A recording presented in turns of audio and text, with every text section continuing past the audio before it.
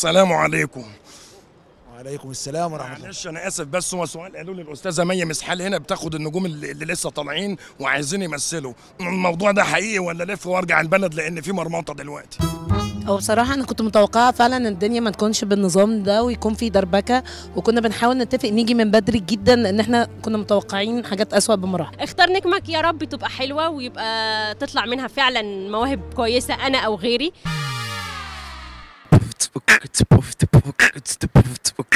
السينما ما تعمل اكل من ايدي على نفس في الطبيخ ولا بامية ولا ملوخية ولا فاصوليا ولا تسبيكة اللحمة ولا فراخ اللي في الفرن.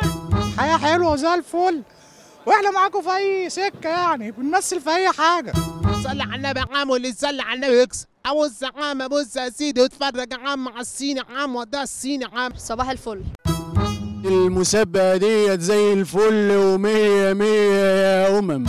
إحنا آسفين إحنا وحشين.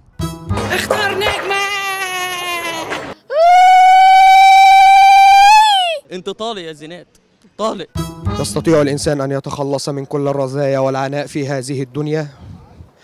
بطعنة واحدة من خنجر في يده. شكل آخرتك هتبقى لون فلنتك. معلش يا رجالة. شايفة الولد الحلوة ده؟ مسابقة اختار نجمك مختلفة بجد. اختار نجمك وصوتوا لي هو ده.